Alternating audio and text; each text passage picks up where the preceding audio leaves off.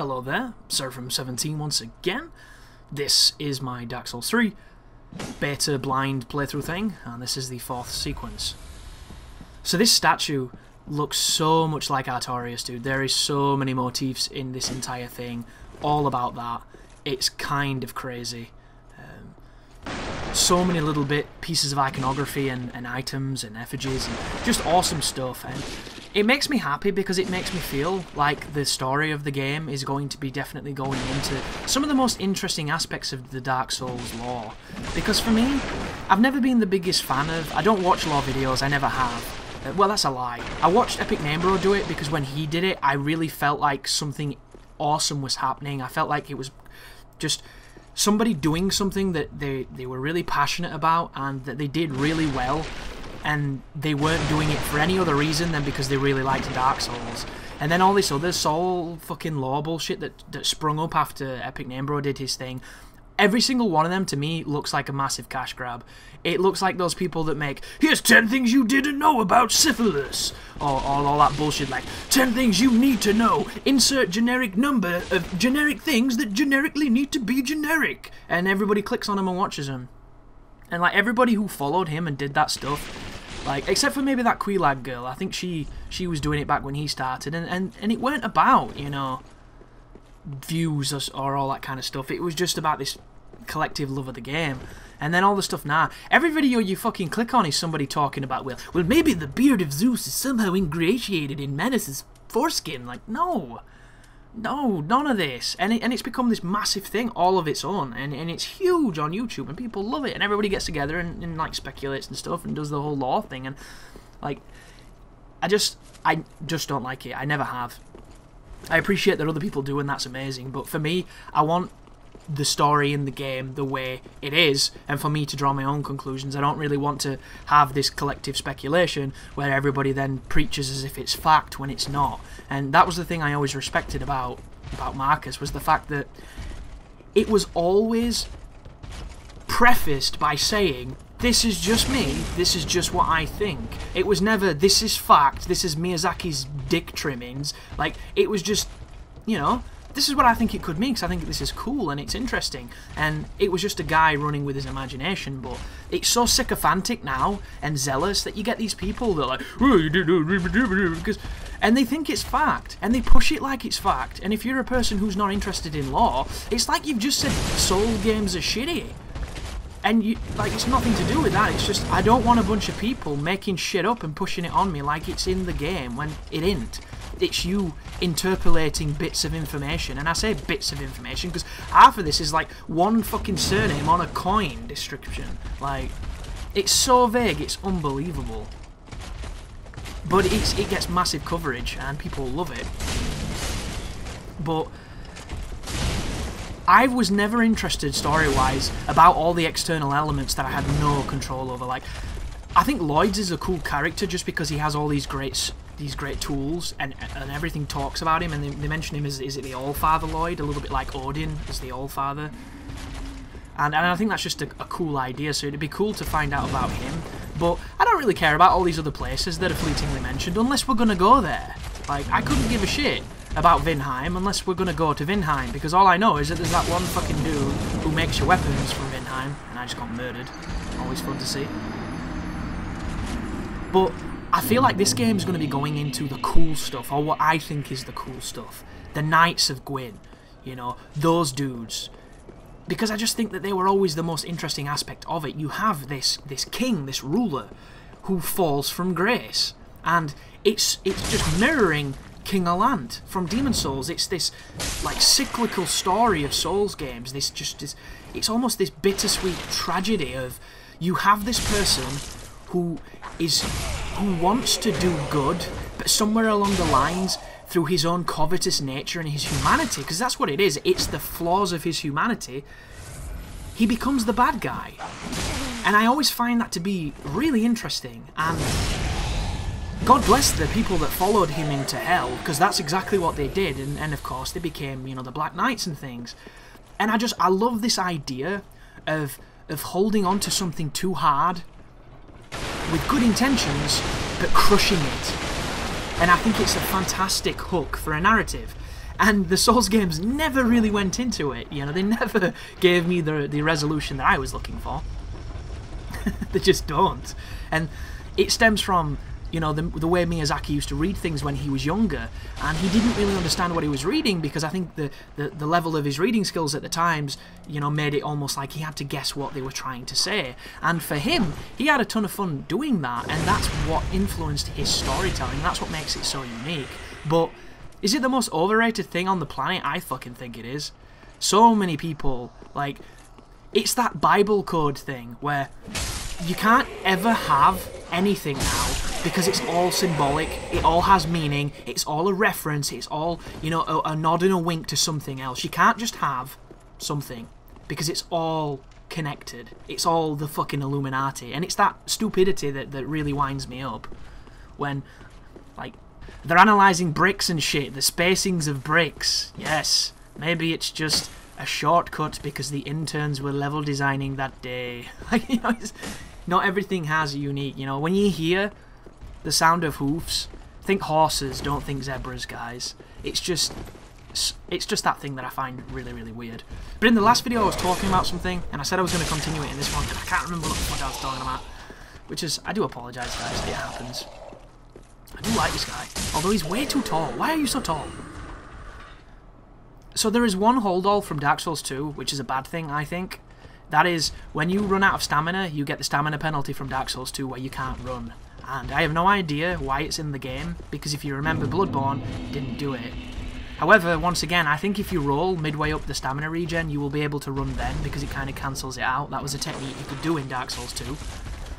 But, yeah, I, I don't like the stamina penalty at all. And in this game, you get penalised for stamina massively. Stamina is going to be the most important statistic in the entire game. Green Blossoms are going to be lifesavers, because it's just the punishers on stamina are so high. It really is crazy. Like, if you're the person who likes to roll a lot and fake with rolls, you're going to get instantly crit by somebody who exploits it, who chases you down, waits for you to land, and then hits your shield. And if you block, it knocks your shield away, and he crits you. And if his build is set to, you know, really good crits, you're dead. And especially if he's using the the resin riposte, because then it adds a whole bunch of buff damage to it, and with the way that the buffs work now, there's really not that much of a great opportunity to use them outside of see attack. Just like if anybody telegraphs an attack, oh here's his walk move, his crazy uh, call from beyond slash holy light firestorm thing. Very very strange. But if you're wondering what I'm doing here, guys, I'm just kind of trying to see what this dude can do. I'm hitting him, seeing, you know, if I can break his poise, seeing what I can do with him. And then in a while, I'm going to learn that you can backstab him, and then it's going to make this fight very different. But this spell seems really fair, which I like. It could be super good against gankers too. Because gankers don't give a shit, do they? They just want to be close to you, they want to be chopping at you. So if you do that, and they're all trying to chop at you, yeah, that's really tough to spin through. But do you see the life it takes off? I think that's really fair In the grand scheme of things, real fair. But this guy's pattern, he generally does two attacks and then he gives you an opening to attack him. Two attacks, opening to attack. Two attacks, opening to attack. He very rarely does one attack. When he does one attack, it will either be the magic or it will be the charge up to do the spin. When he charges the spin, you want to try and backstab him to interrupt him. It's the best way to deal with him. You might not see that in my blind run of this beta because I don't think I got that comfortable with him then. But in the in the preceding betas, I, I learned to really punish that enemy and, and mess him up. But I'm just kind of trying to find things to break here to see if I can find items. But one of the things that people have been criticising of this game as well is that the roll seems super fast. And it really isn't, guys. The speed of the roll is probably around the speed of the roll from Demon Souls. The thing that you're not seeing, that you really need to understand, is just how much recovery you have when it comes to pressing the roll, and just how much delay you have when it comes to going into the roll when you press evade. It feels a lot more weighty than it looks, let me tell you that much. And there are times when you wish it was Bloodborne, because Bloodborne had a faster evade. And I think it's going to work perfectly. I think they're probably going to smooth it out. I don't think anybody should be too concerned about that. As much as the attacks, the attacks feel very Dark Soulsy. The only difference being is certain ones are a little quicker than you're used to, so it feels a little faster, but not by much. The one thing you're going to notice the most is the enemies. Every single enemy attacks faster than you. And uh, I've mentioned this before, I'm going to be mentioning it a lot. I just don't agree with it. They have a lot of flurries, they have really fast attacks, it's kind of stupid, but it's not as fast as Demon Souls, because in Demon Souls there are certain enemies that you cannot you cannot parry on reaction, you have to predict. Anybody with a katana on that game, you cannot sight parry the katana's one-handed R1, you can't do it. You have to run at him, anticipate it, then press it. It's just like PvP. And on this game, so far, there has been nothing that I had to predict, except for maybe the, the thief's lunge attack. But even then, you can kind of parry the moment he springs and you'll probably get it. But I really like the way they've dressed the environment. I love that these suits of armour and the poles are littering all the places, because I always felt that Dark Souls was a little bit vacant at times. I think Demon Souls did it way better but only really in Boletaria. Boletaria really looked like a scourge had been through that place. It looked like it was a war-torn, you know, capital. And I really appreciated that, the, just the atmosphere of that. And I think that this is really capturing it. And hopefully there'll be more of it. And that was one of the great things that Bloodborne did. It made a lot of environments feel dense. They weren't always crowded, but they felt like they were occupied. And I think that was great. So I've come back over to the, the knights here, as you can see, and I'm going to be trying to, to see what they can do, basically. Try and play with them a little bit. However, playing with this enemy is incredibly dangerous, because they're very, very, very tricky. And I say they're very tricky. They're a Balder Knight. They're a Balder Knight, straight up. They attack very fast, they do good damage, they can stun lock you pretty good, and, you know, they're not going to fall for every backstab you try. But if you roll backstab them, there's really nothing you can do. Yeah, they literally are Balder Knights, that's what they are. And I think I've already mentioned it, but I'll reiterate it. This is an enemy that will always run at you and do two quick attacks. He will only do the third attack if he hits normally. And if you try and get away, they're really good at punishing you. So right there, third attack, which you can punish with a backstab because it's really, really long-winded. And I'm going to try and chain him here, and he's going to hit me with a shield. If I had my shield up just then, he would not have hit me, but he would have, of course, taken off stamina. So something to bear in mind. Here he comes again. There's the running attack. There's the second attack. Notice how there was no third attack? Because he didn't hit. And there's a parry. Some people are complaining about the parry noise. I have absolutely no idea why. I think it's amazing. I, I, like the old parry sound. I hate the parry sound in Dark Souls 2. It sounds like you've just thumped like a wooden pillar on somebody. This game just, it sounds like you've just emptied a shotgun in them. It's ridiculous and I love it. This was me messing about with the altar trying to get something to happen. Because if you remember in Cainhurst, you could bow before the woman, and it enabled you to join her covenant, and if you didn't do that, I don't think you could. Um, I could be wrong, though. It's been a while since I've joined that covenant. So I do that, nothing really happens. There's a couple bloodstains happening here. That guy's having a fight. He's using the Zwei, which is... Uh, it's not the Zwei, sorry. It is the Great Sword. But it is the Zwei. You'll get what I mean when you use it. It's a good weapon for that. If you hit a fully charged R2, I think you do about 200 damage. If you buff it, you'll of course do more. I didn't to buff. So, there's the shield bash. Take it right on the chin. There's me swapping my weapon out for my fist to see what the fist does. It doesn't do bad damage in the grand scheme of things, but it's, you know, it's the fist. You can't seem to parry the, the shield bashes, so nothing new there. And these enemies really like to shield bash too. There seems to be a big emphasis on hitting you with a shield. See that though? That was tons of attack then. I couldn't get away. Murdered me. And then he does his little, yes, I just shit on you. Now I'm going to reset to my default position. See you later. And there he goes. High Wall of Lothric. So the torch. You've not seen me use the torch too much. I really should. It's actually really good. I'm a big fan of the torch. It gives you really good stun lock potential. I should have experimented way more with it than I did, but I just kind of didn't. So we're back from this checkpoint. Practicing my parries on this guy. Really enjoying how they feel. The, the attack on the axe when you parry that, it feels so weighty. Really, really deliberate. I thought when she screamed, everybody would get up, like all of the people praying, but it's just this like one guy that would have attacked you anyway. Seems to get it in on the action. So, hit him with a quick R2. Go for a parry. See that? Got like a weird iframe. Because that attack was way slower than I thought it was going to be. So was that one. But for, for a lot of the attacks, the moment you see them move is when you want to try and parry because some of them are very quick. Like that one there. The moment you saw him move, you wanted to put the parry out there and it would have landed. And that's what's cool about the game, because a lot of people seem to think that parrying takes no skill, which is ridiculous when you bear in mind how much damage it does if it's not skillful. Like, just because you've learnt the timings and you've got good at it doesn't mean it didn't take skill. I'll never understand that logic. Because if you fuck it up, you take damage. Like, it seems a pretty binary thing to me. It rewards good timing. And that's all the game is. Like, and, and the people that go, like, all you're doing is pressing one button and winning. Like, well, you're doing that anyway, you fucking idiot. That's what R1's called. Like, come on. There's no argument here. That's a fireball, and I'm in trouble.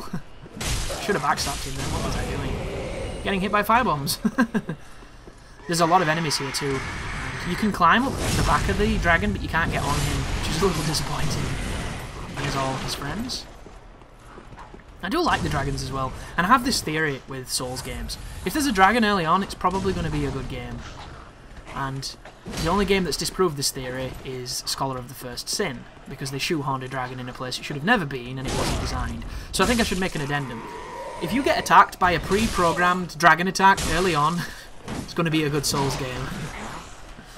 Because if you remember, Dark Souls 2, the first dragon you came across was at the end of the game. like, what the fuck is that? And I just, I don't understand why they did that. It's, it's like that James Bond thing. James Bond has to say shaken or stirred or whatever with his martini, and even if he's taking the piss out of it like Daniel Craig did, he has to say it. Additionally, there has to be a, mo a moment where, you know, he says his name, because that's kind of his catchphrase, and then a moment where he seduces somebody, albeit maybe not in the most graceful way. And those are the James Bond moments. And then, of course, there has to be a moment where he, he escapes death and it goes into a crazy, awesome piece of music, which the new films that haven't really done too much, but the old ones used to always do it, because it was always in the, the Bond theme, which we've lost, which I miss. I fucking love that theme. And that's kind of the, the, the notes you have to hit on those films. And in a Souls game, I feel there has to be, you know, like a Patch's betrayal kind of character. There has to be some kind of co-oping Sunbro-esque character. And there has to be a dragon. That seems to be what it's about. Like, there is always those things. Why why did Dark Souls 2 save that for so long? I'll, I'll never understand that game. So here's me hitting this buddy. I got a bit sad as well when I was thinking about this dragon, because it's obviously petrified or carbonized or something. It's dead. And the other one's sticking around, and it makes me wonder, was it its mate? And I was thinking about that quest from, from Witcher 3, and it just makes you think, like, we're very mean to dragons in these games, but we don't really know, you know, what their backstory is. Maybe they were helping orphans in their previous life, and then we came along and fucked them up. And a funny story, too. There's a moment in this playthrough where I'm going to throw firebombs at the dragon, and I'm going to learn that he can hit you in some pretty crazy spots. So uh, it is not a safe spot. Do not repeat the actions you're going to see in one of these videos. But uh, we're just cruising around, going back through areas, picking up the greatsword again. Really like the greatsword. Super fun weapon. Only criticism is you just don't really have the stamina to use it as effectively as I would like to use it. Because it takes off big stamina. So there's me kicking, doing an R2. See that? That one R2 took all my stamina. Then he poked me, and it guard broke me. If that was PvP, I was probably dead if the guy was doing, you know, a powerful riposte. Two-handing his Vi, buffing it, all that kind of stuff. Here's me baiting the dragon. And also, depending on where you stand here will depend on where the dragon sprays his fire. Try to parry an arrow then. I reckon you'll probably be able to do it with a specific shield. That would be cool. I'll never understand why they don't give the option to send arrows back to the person who cast them if you perfectly parry them. I think that would be amazing. I think it would be cool if you could get a magic shield that did the same. Because can you imagine somebody trying to dark bead you and you just parry it back into the face? That would be the ultimate, like, comeback moment. There it was. Mess around on the lower valley, the dragon does his fire. So the dragon fire is kind of really stupid. It doesn't do big damage like it used to, but it keeps you in this indefinite weird flinch where you can kind of move and you can kind of not. You can roll through it, but you're going to keep taking little bits of hits. It's, it's weird. The good news is, on your first pass, you can just run straight past the dragon and go through the door underneath him, and he will not hit you because he can't. However, it takes me, I think, the second network test to figure that out. So, is this when I start throwing firebombs at him? I think it might be. Yeah, this is it. So I try and throw a knife, and it doesn't work. So I'm thinking, fireballs. There you go. And I get him, 17 damage. He's got a massive life bar. 17 damage. We're doing this, boys. And he turns around, I'm like, oh my god, really? Really? and he starts doubting me. and you can see the weird stun lock he does. Well, you can move, but it's weird. All I'm trying to do now is heal. I'm mashing heal. That is literally all I'm doing. And I just get out of it. Whew. So yeah, that is not a safe spot. Do not chuck stuff at him from there. Fun to know, though. I love that they've put stuff like that in. Because I'm the type of person who's going to try that. And that was designed to screw me over. So very happy with that particular sequence. I just use Ember by accident as well. But it gives me my life back. I'm like, oh yeah, I get higher life with that. I forgot about that. That was the guard break. Wonderful move. There was the Zwei. Should have two-handed it. Can I chain him? I didn't. There was Poise, or Hyper Armor, depending on what you want to call it. That was him. He should have killed me then. That was me going for a parry and just getting real messy. Oh, what am I doing? Please, thank you. But these enemies remind me of those knights from the Crown of the Sunken King, only they're not bullshit. Like, that enemy there, every time he kills you, it's your fault. And I love that. He doesn't do anything that I've seen that you can't do, except for the shield bash thing. But then, we haven't seen all the shields, so maybe you can do that. Like, he is perfect. He does exactly what he's meant to do. He's meant to put pressure on you, and he's meant to scare you, and that's what he does because he's way more aggressive, way more damage potential, just a tougher, trickier enemy than the standard, you know, ghoul thing that you kill. I think I'm going to find my shortcut in a minute, which uh, I'm going to upload a video of it, but I've put two videos together because I thought just this video on its own wouldn't be all that great, even though essentially it is a skip. It saves about half a second, and it's, you know, not the easiest thing to do every time, but I just love it because it's the kind of thing I love doing. It's like when I was playing Dark Souls 1 and I and I discovered if you ran in a circle on the elevator in Anor Londo, you could jump off it as it was lowering and land on the railing and you didn't have to go down the stairs and you could skip that entire walking around and waiting bullshit. And I love stuff like that. It saves what? 15 seconds, 10 seconds, which is not a lot unless you're a world record speedrunner. But when you're impatient and you like doing cool jumps, it's just really fun. And I'm going to find it now because I'm in the mindset of trying to, to do glitchy things. And I'm thinking, can I walk on this ledge? Oh, I didn't do it, did I? Shit. I'm going to do it later on anyway. And if you remember, in the Dark Souls 2 beta, there was a cheeky ledge next to a staircase that you could walk along that led to Llewellyn's armour, and that's what inspired me to try and see if I could do things with it, and then I ended up finding a skip to get to the roof where the um, last Plagas guy is, or whatever his name is, Manus's dirty, tickly uncle. A couple of guys in here, showing you a little bit more of the, the Zwei's moveset. I haven't shown the, the special feature yet, because I don't know how to use it at this point. All you do is you press you press L2 and then you press either R1 or R2 and he'll do this weird kind of parry looking thing and then he'll do a move. And I, I couldn't understand it because the longsword goes into a stance, this one doesn't. So just that deviation can kind of confuse me. Did full damage on him, that was fun. Combos and now backstab him. How much does this do? 39? 147. So that's quite a lot. And I buffed again by accident, I think. Well, maybe not. So watch. See that? Dead before he even transforms. Best way to deal with that enemy. He drops a Divine Blessing, which are not that rare on this particular network test. You end up picking up, I think, one to three of them. And then you can backstab these fellas and practice your stabbing. Which is a little unfair, because they're worshipping these things. And if you look at it, these people have turned into trees. Or poles or something. It's weird. Like at first I thought they were impaled, and then when you look at them, they've actually transformed or polymerized into weird bony tree things. I, I, I have no idea. It's like they, they spent an eternity out in the sun and they finally became a sunflower. It's really strange.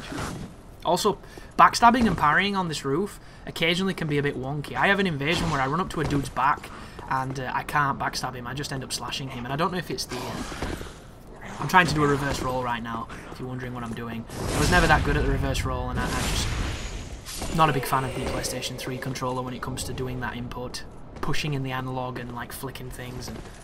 The analogs are in the wrong place. I like the 360's configuration, and everybody who likes the PlayStation controller says the opposite thing, because it's entirely what you're comfortable with. Also, you, I think you can jump on that house. I was never able to do it, but there were signs on top of it, so some bugger did, which I think is hilarious. I wonder if there's anything up there, but that jump, you must have to do it with the left analog stick, because I'll never forget on Dark Souls 2, Lobo made a video really early on, where he found a shortcut past the Shrine of Winter, but it could only be done with the left analog stick, because you just couldn't do it pressing, double pressing the, the run button because you just you didn't get the same kind of momentum. And I think it'll be the exact same for that. And you might be wondering, well, why don't you change it? I just can't do it, guys. I, I prefer the old school method, and I know it's inferior. It is inferior in every way, but I just I can't not have it that way. I hate clicking analogs to do things. I just I, I always have. I always will. This game has a really cool use of the analog where it's just a lock on, and as lock on is important, but you can also play this game without it. So I've got the, the Legion Scimitar on. I'm hoping you don't have to use both of them in the main game. I'm hoping there's like a single one and a double one, or dual wielding works like it did in Dark Souls 1, but has all the functionality of Dark Souls 2, and then adds a whole new bunch of stuff for Dark Souls 3. That's me trying a parry. Really don't think you can parry this guy. I hope I'm wrong, and I hope my timing was bad, but I really don't think you can. Additionally, enemies chase you now on this game for really, really far. They will come for you for some considerable range. That guy's got a super good running stab. Caught me out of it a lot. You can also attack through geometry, so if you're thinking that they're going to fix that, they won't. They never will. Like, I think it's a part of the engine. If you want the, the soul controls, you're going to have to put up with the bullshit like that. So see what I mean? Two hits and then he stops, then you can backstab him. As soon as I learnt that, this enemy became a joke. You can chain stab him too. Like that. I was a little slow on it, but it still worked. So just get into position and immediately do him. And there you go. Really, really easy enemy. Praise the sun. Oh, I forget the name of that guy. The biggest douche in the universe. What is his name? I'm not a douche. oh, South Park. I really should watch the new episode, but I thought the new season so far has been really bad. Like it's been so American and topical that I just haven't been able to find it that funny because I don't I'm not American, you know, I don't have your culture in my face all the time. So it's unfortunate that it has been so very specific so far on everything. Like I don't know if this social justice warriors thing is a big thing in America, but that's me trying to use the parry on this even though it's not a parry. Like, of course, I've become aware of it on the internet, that particular thread, but eh, all the other stuff that they've been doing, like, I don't even know what that chain is that they're making jokes at, that they built next to Kenny's house. I, think, I can't even remember the fucking name of it. It's like, Go Go Pogo Bogo. For hipsters, the new place for cool music and, and great food, and, and it keeps showing you all this real world footage, and it's probably really funny if you know what's happening, but I'm just like, I don't even know what that is, and I, I don't have that kind of, you know, gentrification happening in my area. Like, we barely have a KFC. We would love a pretentious hipster bar thing. You know, all we have is cows and fields. Which used to be what South Park had, but, you know, they don't have that anymore because apparently they're getting all repopulated with weird shit. But a lot of this footage is not really stuff I would normally upload because it's just me experimenting. It's me playing with enemies, you know, finding out how you can stab them, swapping between the weapons and stuff. But it's Dark Souls 3, and it's you know it's you haven't had chance to play it, so maybe you want to see this. You know, maybe this is you know you you're killing for this, and I, and I hope that this helps give you some inclination as to you know what you can do. Here's me trying to do that weird thing again. I just can't do it. I'm like, why is this not working? And in my defense, it does kind of look like the parry, doesn't it, from Dark Souls 2? But it's not. It's nothing like it. And I never clicked, I never thought, like, why don't you just try and, you know, press a modifier button, Chris? Never thought. I'm gonna parry him. That was a fast attack. I still think you could have reacted to it, though. That was a rolling R2 charge.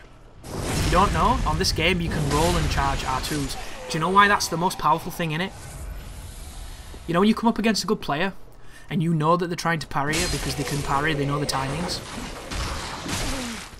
You can roll forward, super telegraph it, so they just do a standard roll parry, and instead of pressing R1, you charge R2. So when you land, they do the parry, and you hit them for real big damage.